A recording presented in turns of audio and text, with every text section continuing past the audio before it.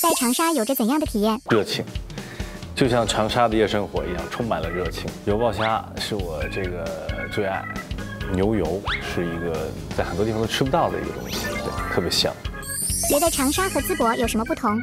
一样，我觉得感受到了每一个城市的朋友们对呃烤串文化的一种热爱。呃，淄博的它更加的猛一点，因为它有那个三件套嘛，先是饼。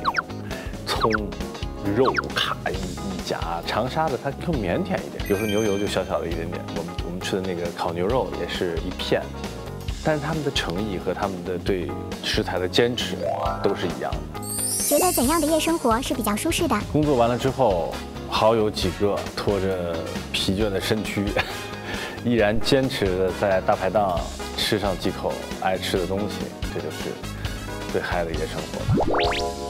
是第一次体验串牛油吗？那可不嘛，这正常一般生活也体验不到啊，体会到了不容易。虽然这个牛油大家吃上去小小的一丁点儿哈，但是真的每一串牛油它都不是特别好串。他们的员工啊或者他们的老板在经常串牛油的时候，经常也会就是刺破自己的手，特别不容易。评价一下海涛作为长沙站长的表现，特别特别不容易，因为长沙是他梦开始的地方，所以他带着我们这帮好友来到长沙。他的压力是很大的，他一定会想把长沙的他认为好吃的、好玩的地方告诉我们，带我们去体验。但其实我们时间太短了，其实我觉得他可以用一个月时间带我们去吃不一样的店，对吧？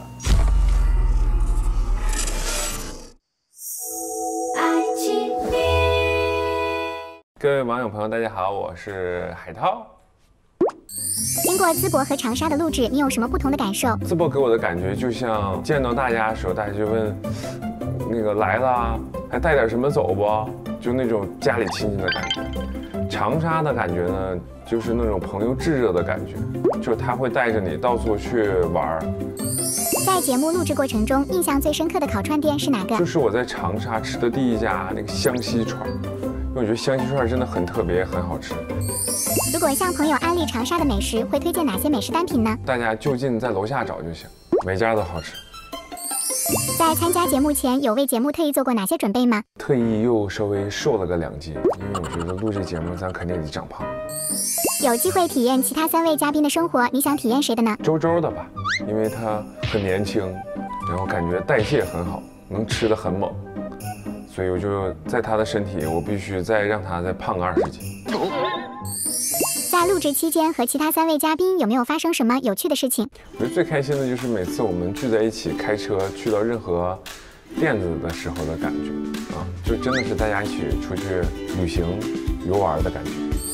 满分十分的话，自己在节目中的表现能打多少分？九点九吧，因为已经吃到九点九了，吃不动了。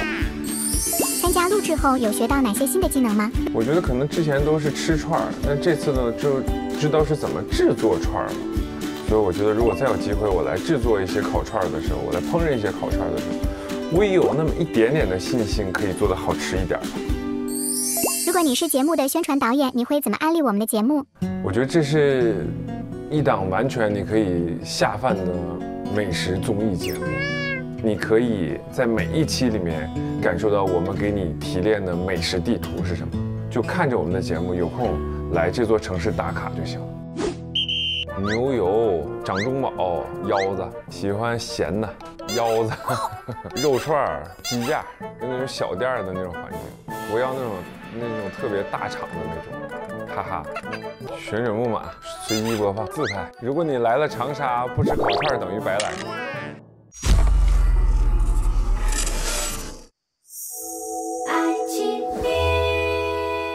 Hello，大家好，我是九九唐九州。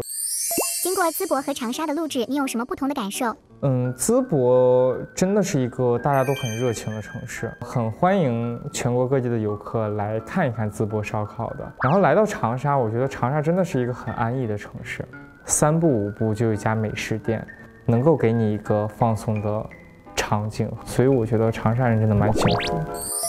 在节目录制过程中，印象最深刻的烤串店是哪个？我觉得是长沙站的孙二娘。烤串店，嗯，我觉得东北的烤串就是最厉害的。但是其实来到淄博和长沙，真的能够体会到很地道的串儿品，然后很好吃的美食。我这辈子没有吃过这么好吃的萝卜泡菜。对长沙这座城市有着怎样的印象？就是一定要吃串儿，一定要吃小龙虾，然后一定要跟朋友们相聚。平时吃饭是喜欢一人独处，还是和朋友们聚会？我觉得吃饭一定要跟朋友们一起，嗯，因为那样才有感觉。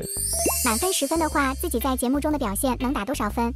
这两次下来，我能给自己综合打个八分吧。对于美食，其实我不敢说特别精通，我只是一个爱吃的人。经过一次一次的探店，对于串儿可以说是略知一二了。在参加节目前，有为节目特意做过哪些准备吗？准备了一个呃空空的胃，因为我觉得我们这个节目一定是会吃很多串串，会体验很多美食的，嗯，所以我觉得带好自己的胃就好了。参加录制后，有学到哪些新的技能吗？我这次真的切肉是我第一次体验啊、嗯，因为我平常很少下厨，然后很少切菜，所以我觉得这次刀工有见长。嗯。牛油烤羊肉、烤牛肉，牛油烤羊肉、烤牛肉，口味吃了吗？过山车，顺序播放，自拍，填口。妈呀！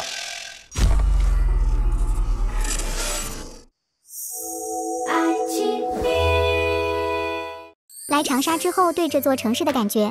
我来这儿瘦了特别多，因为我觉得太辣了，就吃不了。对长沙的夜生活有什么感觉？长沙的夜生活是很丰富多彩的。解放西路那一块儿，其实有的时候我们晚上也总会去逛一逛啊。我夜生活蛮多的，因为我经常不睡觉，但其实我不睡觉，我也喜欢宅在家里面，然后看番剧啊什么的这种。在长沙吃烧烤一般去哪？所以我一般很少点烧烤，但长沙就是必点的就是牛油嘛。